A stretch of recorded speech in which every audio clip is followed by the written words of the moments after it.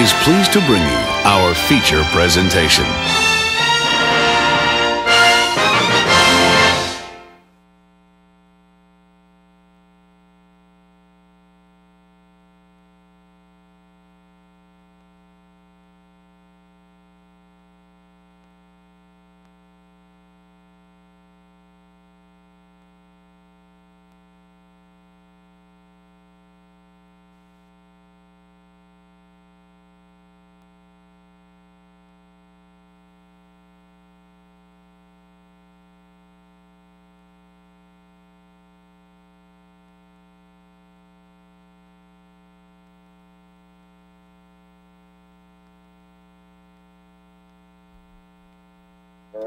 Thank you.